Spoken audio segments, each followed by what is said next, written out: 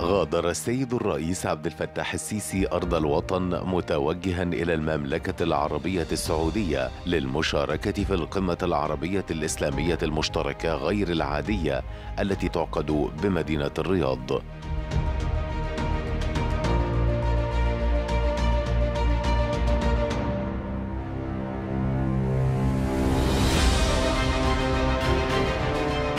المتحدث الرسمي باسم رئاسة الجمهورية المستشار أحمد فهمي صرح بأن القمة المشتركة الاستثنائية بين الدول العربية والإسلامية استمرارا لدور مصر منذ بداية الأزمة في بذل أقصى الجهد لدفع جهود وقف إطلاق النار وتوفير النفاذ الآمن للمساعدات الإنسانية إلى أهالي قطاع غزة. فضلا عن دفع مسار إحياء عملية السلام والتسوية العادلة والدائمة للقضية الفلسطينية.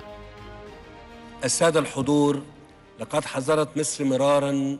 وتكرارا من مغبة السياسات الأحادية كما تحذر الآن من أن التخاذل عن وقف الحرب في غزة ينذر بتوسع المواجهات العسكرية في المنطقة وإنه مهما كانت محاولات ضبط النفس فإن طول أمد الاعتداءات وقسوتها غير المسبوقة كفيلان بتغيير المعادلة وحساباتها بين ليلة وضحاها وأخيرا أتوجه بحديثي إلى القوى الدولية الفاعلة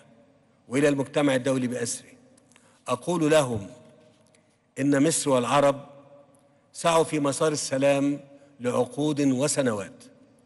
وقدموا المبادرات الشجاعة للسلام والآن تأتي مسؤوليتكم الكبرى في الضغط الفعال لوقف نزيف الدم للفلسطينيين فورا. ثم معالجة جذور الصراع وإعطاء الحق لأصحابه كسبيل وحيد لتحقيق الأمن لجميع شعوب المنطقة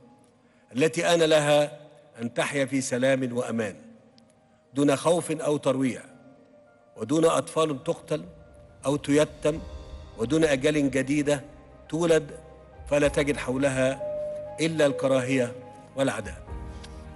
فليتحد العالم كله حكومات وشعوبا لإنفاذ الحل العادل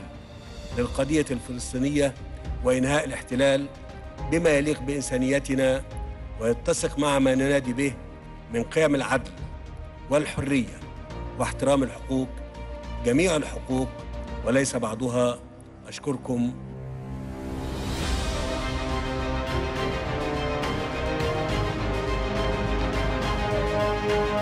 كما التقى السيد الرئيس عبد الفتاح السيسي مع عدد من قادة وزعماء الدول العربية والإسلامية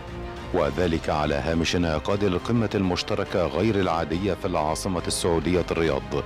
حيث التقى سيادته بكل من العاهل الأردني الملك عبد الله الثاني والرئيس السوري بشار الأسد والرئيس العراقي عبد اللطيف رشيد والرئيس الإيراني إبراهيم رئيسي والفريق أول ركن عبد الفتاح البرهان رئيس مجلس السيادة السوداني والرئيس التركي رجب طيب أردوغان.